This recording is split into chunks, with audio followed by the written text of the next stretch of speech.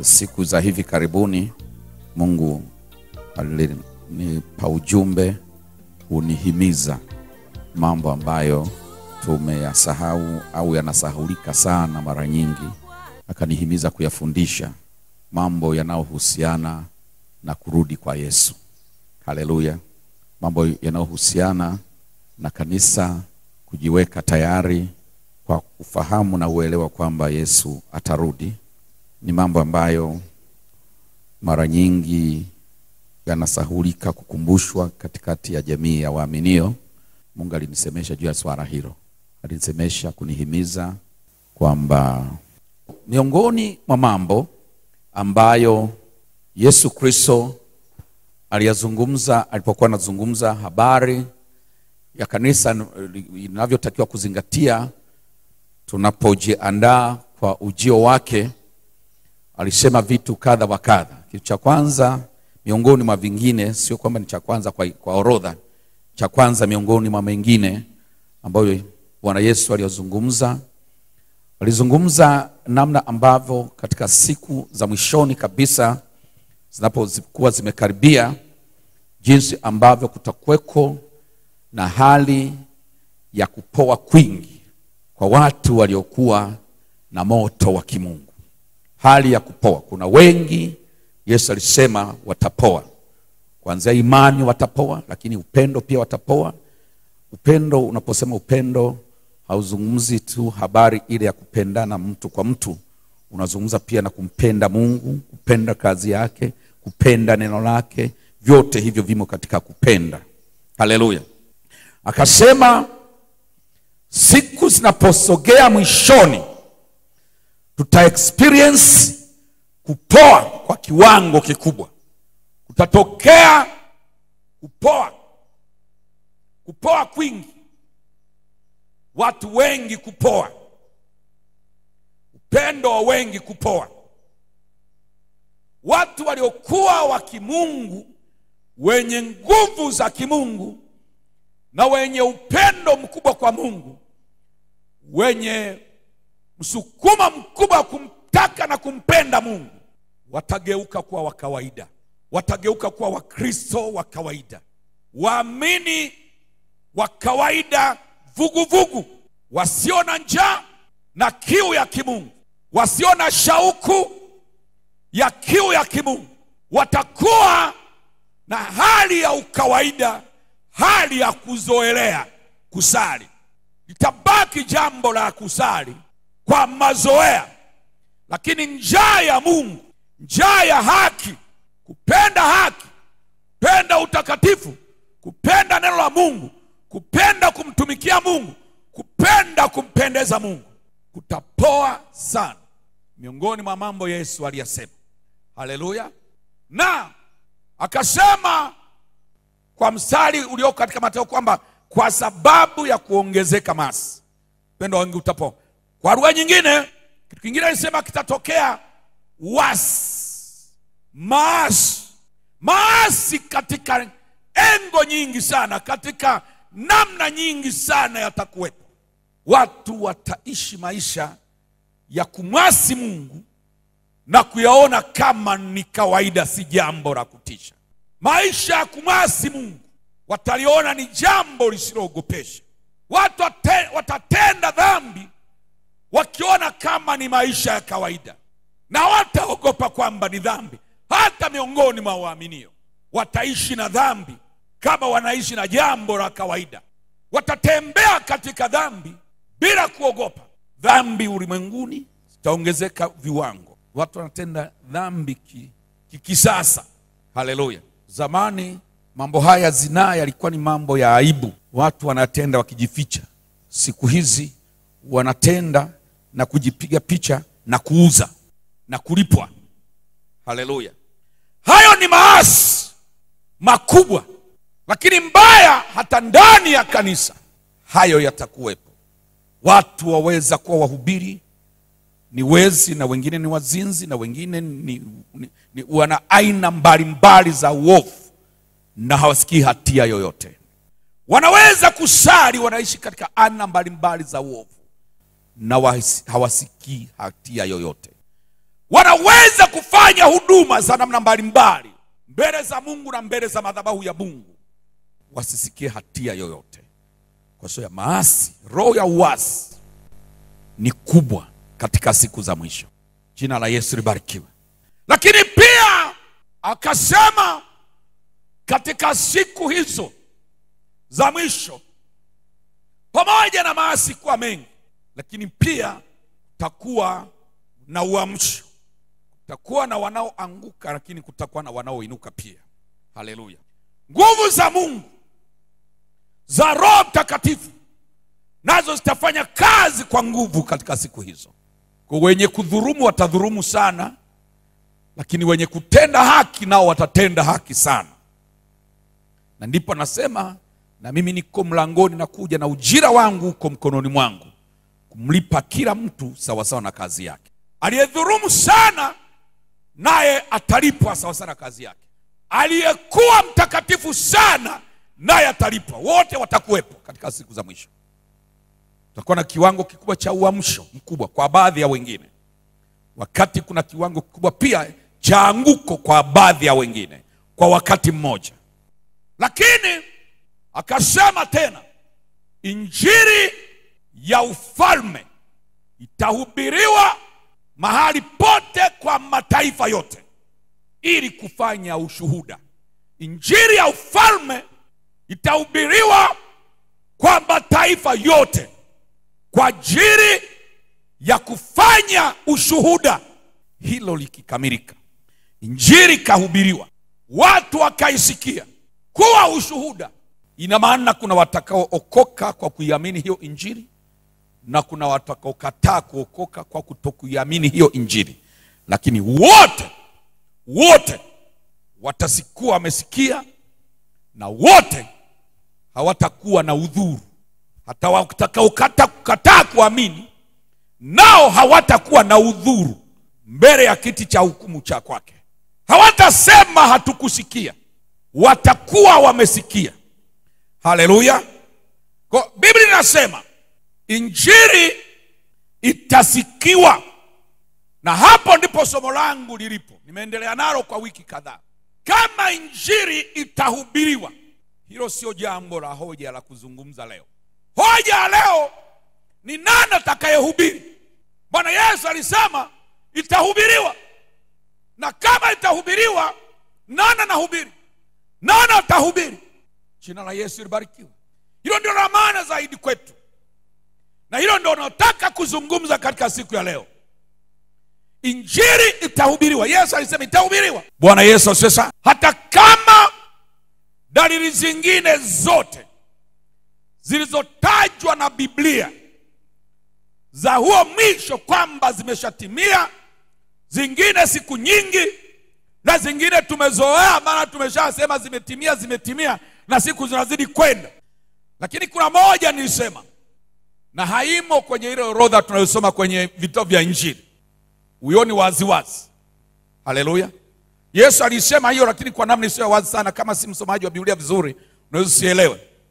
Kwenye injili yesu alisema nalikuja kwa jina la baba hamkuni amini hamkunipokea. Mwingine atakuja kwa jina lake mtampokea huyo. Alikuwa anazungumza habari ya mtu anaitwa mpinga kristo. Lakini alizungumza katika namna ambayo si wazi huwezi kujua anamzungumza nani. Anasema mimi nilikuja kwa jina la baba yangu hamkunipokea lakini kuna mwingine atakuja kwa jina lake huyo mtampokea. Akimaanisha namna watu watakavyokuwa wepesi kumpokea mpinga kristo kuliko alivyo wepesi kumpokea yesu. Kumwamini mpinga kristo itakuwa vyepesi na wengi watamwamini mpinga kristo kuliko wanavyomwamini yesu.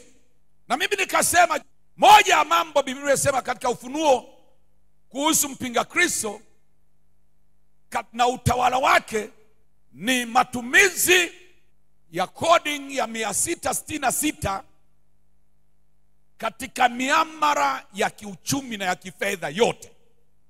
Wakati wa utawala wa mpinga kristo miamara yote ya kiuchumi na ya kifedha itatumia alama ya mpinga kristo.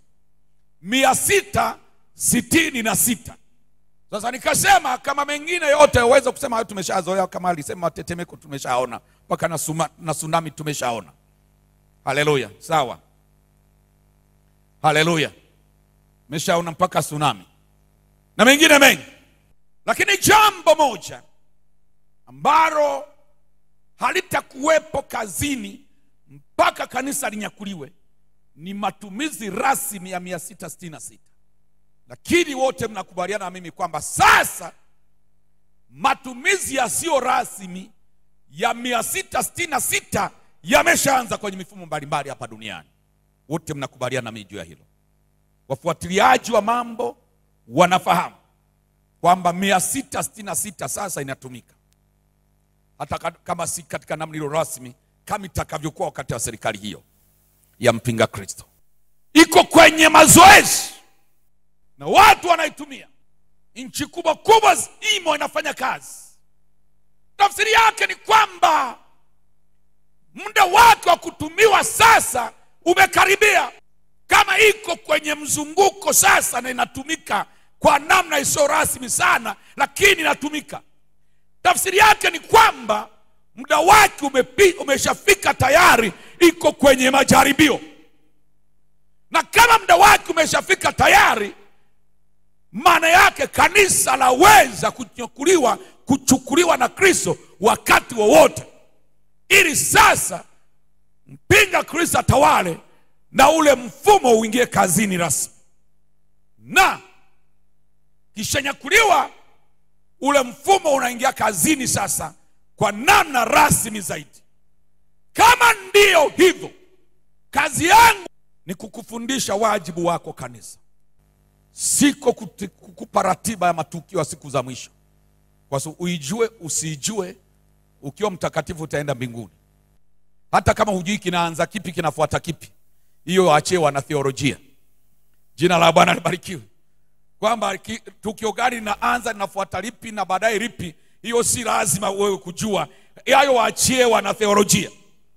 Wewe kazi yako ni kufanya mambo ya muhimu kwako. Kwanza kuishi maisha matakatifu. Wakati watu wanaharibika watu wanaharibika usikalie na lugha tu watu wameharibika. Unaweka mikono kichwani mpaka unawasikia na wahubiri wabo wameharibika isikupe shida. Bibi nasema maasi yataongezeka. Hayakusema ataongezeka kwa wasio wahubiri. Hata wahubiri ataongezeka kwao pia. Jina la yesu libarikiwe. Usiweke mikono kichwani mungu wangu mungu wangu na fulani nimesikia anaendaga freemason isikupe shida hiyo. Kwa sababu ndivyo tamaa ya mali na tamaa ya pesa tamaa ya umaarufu na madaraka ni moja ya maasi yatakaotawala isikupe shida hiyo la muhimu wewe umesimama wapi? Jina la yesu libarikiwe. La muhimu wewe umesimamaje? Wewe uko kwenye nafasi gani? Wakipoa uliodhani hawezi kupoa wewe usipoe hilo ndio ramana kwako. Wakianguka uliodhani hawezi kuanguka wewe usianguke hilo ndio ramana kwako.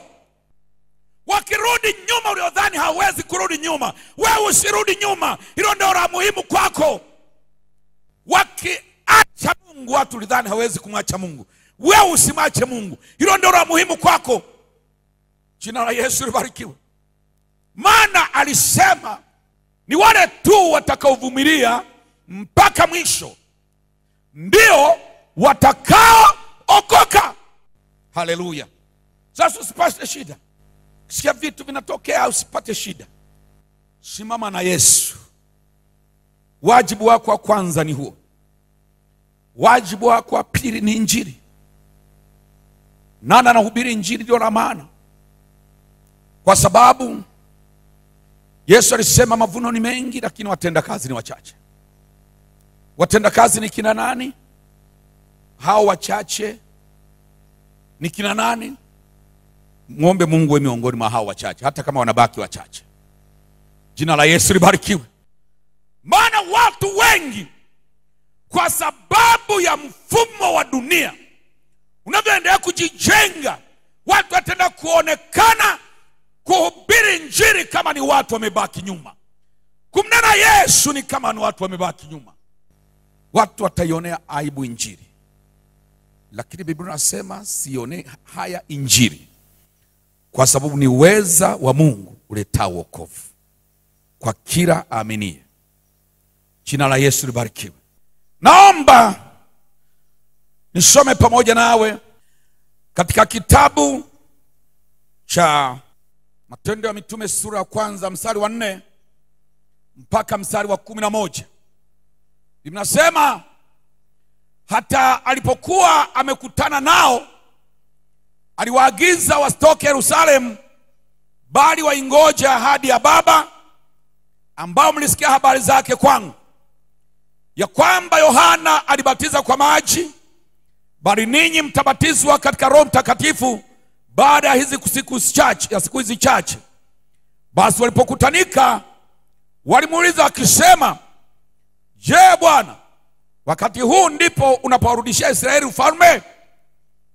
Akamwambia, si kazi yenu kujua nyakati wala majira Baba aliyoiweka katika mamlaka yake mwenyewe, lakini mtapokea nguvu akiisha kuajilia juu yenu Roho Mtakatifu, nanyi mtakuwa mashahidi wangu katika Yerusalemu na katika Wayahudi wote na katika Samaria na hata mwisho wa nchi.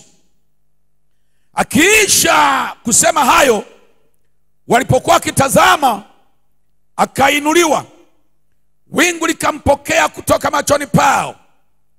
Walipokuwa wakikaza macho mbinguni, yeye alipokuwa akienda zake, tazama, watu wawili wakasimama karibu nao, wenye nguo nyeupe, wakisema, enyi watu wa Galilaya, mbona mmesimama mkitazama mbinguni?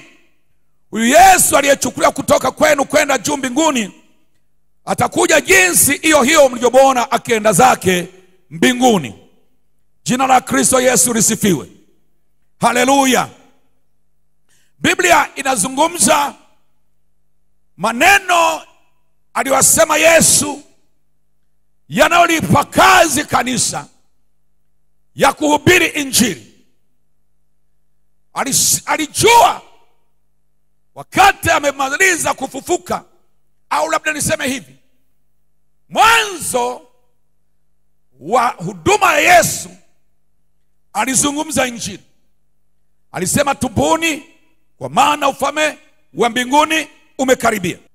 Alipofufuka tena akasema jambo hilo hilo, akasema, nimepewa mamlaka yote mbinguni na duniani.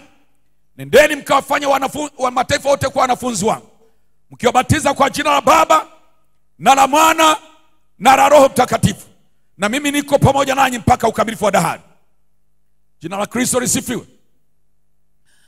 Siku anapaa mbinguni, wanafunzi wake wakiwa pamoja naye kwenye mlima wa Mizeituni ulioko Yerusalemu, wakiwa wana taraja kubwa na matarajio ya kidunia zaidi, kama ambavyo hata sasa wengi tunaokoka, lakini uliza wote wanaopoa, wanapoa kwa sababu ya matarajio ya kidunia. Natafuta mke, natafuta mchumba, natafuta hela, natafuta nini, wanapoa hivyo. Na mimi sisemi hela ni mbaya, jina la Yesu libarikiwe. Nimewafundisha mwambia, unaweza kubarikiwa na Mungu yuko kwenye utaratibu wa kuitengeneza matajiri, watu watakaomirikisha utajiri wa dunia wakimpenda Mungu. Wiki iliyopita nilisema, anasema nawapenda wanipendao na wale wanitafutao kwa bidii wataniona. Haleluya! Akasema natembea katika njia za haki katikati ya mapito ya hukumu, niwarithishe mali wale wanipendao, tena nipate kuzijaza hazina zao. Hilo sio tatizo. Kupata sio tatizo, kufanikiwa sio tatizo, tatizo ni njia gani unatumia kufanikiwa ukitumia njia ya kimungu unafanikiwa na mungu ni mwaminifu sana. Utawazidi hata wanatumia za kishetani. Jina la yesu libarikiwe. Kwa si kufanikiwa kimaisha. Tatizo ni moyo wapi unauweka? Haleluya. Ni njia gani unataka kuitumia kufanikiwa? Ndio tatizo. Kwa wote wanaopoa wote wanaorudi nyuma wote vuguvugu wote uvuguvugu wao umesababishwa na dunia na kuitaka dunia na kupenda dunia na kufukuzana na dunia. Jina la yesu libarikiwe. Nimefanya watu wengi wamekuwa vuguvugu. Watu wengi wamepoa. Haleluya. Hawatamaza mwili hawatamaza hela hawatamaza madaraka hawatamaza kushindana na wengine. Hivyo ni hivyo. Wanamacha mungu kando. Lakini nisikilize yesu anasema watu wakiwa wamekuja na maswali ya matarajio ya dunia. Amefufuka sasa. Tunakwenda kupata nafasi vizuri. Wana matarajio ya dunia. Kwa nini? Kwa nyuma waliwahi kuwa na mfumo wa ufalme. Wote mnaosoma biblia mnajua tangu sauli alipoingia kuwa mfalme ilifuata mfumo wa ufalme mpaka ulipokuja kuanguka wakati nebukadreza wa babeli alipokuja kuiteka yerusalemu mfumo ukafia hapo ufalme mfalme mwenyewe akachukuliwa mateka na baada ya hapo wakatawaliwa waliporudi kutoka babeli babeli ikaanguka ufalme wa babeli ukaingia wa uajemi na umedi wakaenda kuwatawala. Hakuna mfalme tena wa wayahudi au wa waisraeli kwa lugha nyingine. Mfumo wa ufalme haupo wanatawaliwa tu. Ulipoanguka huo ukaja wa yunani wakaenda kuwatawala pia. Haleluya walipoanguka wa yunani wakaja warumi wakaenda kuwatawara mpaka wakati huu wanazungumza na yesu wanatawaliwa na warumi. Wana karibu miaka mia tano hawana mfalme wa israeli. Sasa yesu amefufuka wanakuja na matarajio yao. Bila shaka sasa tunajitawara yesu amerudi amefufuka tunajitawara anaturudishia ufalme israeli. Wakaenda na maswali hayo ya ufalme wa duniani. Haleluya. Wa matarajio ya duniani. Maisha yao na fikira zao zimejazwa na mam na kutaka mambo ya duniani kuliko ya ufalme wa mungu. Wakamwambia huyo wakati umefika kuturudishia ufalme. Yesu akamwambia si kazi yenu kujua mambo ambayo mungu baba ameyaweka katika mamlaka yake. Ninyi mnachohitaji kujua ni kuhubiri njiri e, haleluya haleluya. Akawaambia, mnachohitaji ninyi hubirini injili. Mambo ya, ya ufalme achana nayo. Hubirini injili.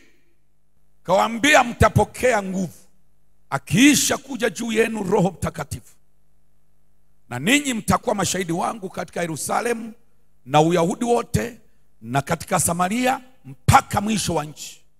Mtazungumza habari ya kufa na kufufuka kwangu na wokovu wangu na uweza wangu na matendo yangu na uaminifu wangu na uzima wangu. Jina la yesu libarikiwe.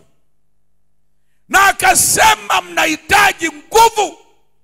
Akijua jambo hilo si jambo rahisi ni jambo je, si jepesi ni gumu.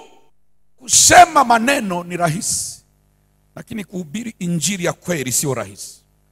Sema maneno ya kawaida ni rahisi. Kuhubiri injili ya yesu wakati mwingine si jambo rahisi. Na yesu alijua. Alijua changamoto atakutana nazo. Na jinsi watakavyohitaji kusimama. Itagharimu watu waliojaa roho. Itagharimu watu waliojaa roho. Alikuwa anajua habari ya, ya, ya, ya sauli wa tarso. Japokuwa wao walikuwa hajamjua yesu alikuwa anamjua. Kuna kijana yuko mahara anafanya mazoezi. Kanisa lianze halafu ashughulike nalo vizuri. Jina la yesu libarikiwe yesu anawaambia wanafunzi wake jazweni roho kwanza akijua kuna sauli wa tarso yuko mahara anafanya mazoezi. Wakiinuka tashughulika nao watabakia waliojaa roho. Wasiojaa roho watajificha tu watakimbia wataogopa kustaja yesu. Wasiojaa roho yesu alijua wanahitajika watahimiri waliojaa roho sauli wa tarso atakapowatokea. Anawambia mtahitaji kujaza roho ninyi. Vinginevyo hamwezi mtahitaji kujazwa roho wa mungu. Alijua changamoto za kubaguana. Kanisa itakapoanza zitawaingilia. Kuna wengine wanatokea kwenye utamaduni wa kiunani wa kiyahudi watakutana kanisani wanaanza kubaguana. Wata, watakaopendana wote akapenda wa kiunani na wa kiyahudi ni aliyejaa roho. Matabaka na migongano wa imani moja haitaisha isipokuwa watakaoweza kushinda ni waliojaa wasiojaa roho hata kama wote ni wa imani moja wanapigana vikumbo hata kama wanasali kanisa moja. Yesu akajua atakaolinda upendo la mungu na sura ya kimungu ndani ya- kanisa watakuwa mejaro yesu alijua wachawi watakavyoshindana na kanisa kama simoni wa kule samaria na yule mwingine anaitwa bari yesu na wengine. Wakati injili nahubiriwa nao wanapuliza vitu vya kudhofisha injili. Alijua hao nao watakuwepo. Shinda nguvu ya uchawi. Watu wakaroga injili wakatuma matunguli injili naendelea, wakatuma mapepo na majini injili kaendelea. ni waliojaa roho. Wasiojaa roho watazimia. Maroho yakishaanza kuwashambulia akina simoni yule wa samaria watazimika tu wasiojaa roho. Watasimama waliojaa roho. Simeona korona tu juzi juzi hapo. Jamani mnanielewa vizuri? Korona tu yani ka korona aka nako kamekuwa kaalimu vizuri. Haleluya! Korona ilipokuja mataifa yote alifunga makanisa. Jina la bwana libarikiwe tanzania haikufunga kanisa kwa sababu tanzania ina rais mwenye imani. Watu walifunga na mimi niliwaambia siku ile nikawambia tumshukuru mungu kwa ajili ya rais wetu. Mtu ambaye anaweza kusimama kwenye imani kwenye changamoto inayotikisa hata wakubwa wanaojiita mataifa makubwa wametikisika. Lakini tanzania imesimama kwa sababu kiongozi wetu amesema tutaendelea kumwomba mungu mpaka tutashinda. Jamani si tuna ushindi tayari? Siku ile nilisema kuna kitu mungu anafanya. Ndio maana napata ujasiri lakini na uchungu pia. Natamani injili ya nguvu itokee tanzania. Siku niliwaambia kitendo cha tanzania kubaki imefungua milango ya makanisa mataifa mengine yote yamefunga milango ya makanisa. Mungu anaikabidhi dunia mikononi mwa tanzania. Mungu ameamua tanzania ibebe dunia kiimani. Mungu ameamua tanzania ishikirie dunia kiimani. Tanzania itengeneze usalama wa dunia hii. Naye itakaofunika dunia itokee tanzania. Hili jambo halikutokea kwa bahati mbaya. Kuna jambo mungu anafanya. Na mimi yamekuwa ni matarajio yangu na imani yangu. Kuna nguvu kubwa ya uamsho naamini mungu atatusaidia itatokea nitatokea tanzania. Na maombi yangu ya ndani zaidi naomba ianzie girigali hili jambo limetokea sio dogo. Mimi nataka niwahakikishie kwamba kama kuna mtu alikuwa hajagundua tuna rais wa aina gani aanze kugundua tuna rais wa aina gani. Haleluya. Majirani wote wamekuzunguka wamefunga milango. Wewe umefungua.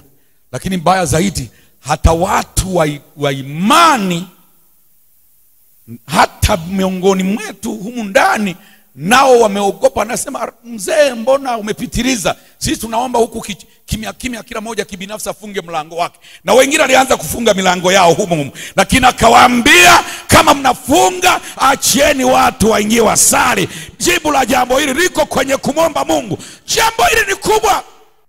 Jambo hili ni kubwa jina la yesu libarikiwe jambo hili kubwa wanaweza walio na roho wa Mungu. Yesu alipokuwa anawaambia jazweni roho, alikuwa anawaandaa kwa uwezo wa kuhimili changamoto zilizoko. Alikuwa anajua kuna Herode anakata vichwa, usifanye mchezo. Haleluya! wasiojaa roho hawatahubiri Injili. Herode anakata vichwa. Jina la Yesu libarikiwe. Alikuwa anajua kuna watu kama wale wanaokaa kanisani wanasema, we unatokea kabila fulani, we kabila fulani.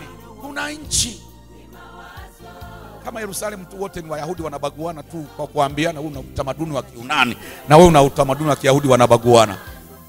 Sembuse mahali ambapo wengine wanaita wewe ni muhutu wewe ni Mtusi, mahali wengine wanaambiana wewe ni Mmasai, halafu wewe sijui ni mtu gani. Haleluya! mahali wanakaa wanatazamana, wanaambiana wewe ni Mjaruo na wewe ni sijui ni, ni, ni, ni, ni, ni mtu gani. Alijua kanisani wataingia watu watatazamana, wewe umesoma, wewe hujasoma. Alijua atakuwepo, wasipojaa roho, hayo mambo yatawatesa kanisani na yataua Injili, yataua neema ya Mungu kwenye mwili wa Kristo. Hayo alijua wakati ule hapakuwa na madhehebu ya Kikristo. Alijua kuna nyakati atakuja madhehebu ya Kikristo ambao wewe ni Mpentekosti, wewe sijui ni mtu gani, wewe ni dini gani, wewe ni dini, halafu wanachukiana na hawapendani na wanatafutana kumalizana. Alijua watu kushinda hiyo roho wanahitaji kujaa roho wa Mungu. Watu wasio na roho wa Mungu, hiyo roho ina nguvu, hawaishindi bila roho wa Mungu. Jina la Yesu libarikiwe. Alijua kuna watu aina ya Yona ambao ili ahubiri anataka ahubiri mtu anayemhusu anayependana. Aliwahi kumkosea, anasema bora liende tu motoni. Haleluya! bora life tu liende motoni. Yona alituma Ninawi, halafu hawapendi watu wa Ninawi kwa sababu unajua Ninawi ulikuwa mkubwa wa nchi moja inaitwa Ashuru, ufalme mmoja unaitwa Ashuru na Ashuru walikuwa wanapiga Wayahudi sio kidogo miaka hiyo. Haleluya! jeshi la Ashuru lilikuwa linakuja linapiga Wayahudi sana, lishawapiga mno. Haleluya! Yona aliposikia wataangamia, akasema si hayo ndio mambo nilikuwa nasubiri. Jina la Yesu libarikiwe. Haleluya, haleluya. Aliposikia ninayo wataangamia, akasema yafe, wacha mimi niende zangu Tarishishi. Jina la Yesu libarikiwe wanaoweza kupenda adui zao wakawaambia habari njema adui zao, wakaombea adui zao, wakasameha adui zao, wakasimama pamoja na adui zao, ni watu waliojaa roho. Walio wasiojaa roho hawataweza. Roho ya Yona itawatesa. Wasio na roho wa Mungu hawataweza. Roho ya Yona itawatesa. Yona naambia kawaambie watubu nisije nikawaangamiza baada ya siku arobaini. Akasema hiyo kazi sifanye, kwani wakifa anapata hasara gani? Kwanza walishatutesa mno hao, yakafe tu huko huko. Mi nashika safari yangu naenda Tarishishi, kalipa na nauli, nauli kabisa ya kukimbia Injili, asihubiri Injili. Watu wanaoweza kupenda wasiopendeka ni watu waliojaa roho. Watu wanaoweza kuvumilia wasiovumilika ni watu waliojaa roho. Watu wanaoweza kuchukuana na watu wasio na sifa ni watu waliojaa roho. Kwa hiyo injili haiwezekani bila watu waliojaa roho. Kazi ya Mungu haiwezekani bila watu waliojaa roho. Jana wanaweza kusimama wakawa ushuhuda, hata wakisimama wanasema Yesu ni Bwana, watu wanasema kweli kwako Yesu ni Bwana, tunakuona hata namna ulivyo, Yesu ni Bwana. Ni wachache waliojaa roho, wengine shuhuda zimechafuka, hawezi hata kusema Yesu ni Bwana, watu wakasikiliza, kwa sababu wao wenyewe mambo ya dunia ndio na wanafanya, tabia za dunia ndizo wanazofanya, hawezi akasimama huu ni wito unakutaka useme habari za Yesu bila aibu. Waambie watu wema wa Yesu bila aibu, kwa sababu muda wote unaweza ukafika, halafu kajikuta umepoteza hiyo fursa na utaulizwa. utaulizwa. biblia iko wazi kwenye jambo hilo inasema atakayenionea aibu mimi na maneno yangu haya kwenye kiki kizazi cha zina na mimi nitamwonea aibu mbele za baba yangu na malaika zake anasema kila tawi loko ndani yangu halafu halizai matunda hilo nitalikata anasema kila mtu mtu aliyepewa talanta akaificha. Anasema huyu atatolewa nje na atanyang'anywa ile talanta aliyokuwa nayo halafu atapewa mtu mwingine anayejua kufanyia kazi talanta. Maandiko yako mengi yana- yanakuwajibisha kusema injili wala si hiari wala huchagui.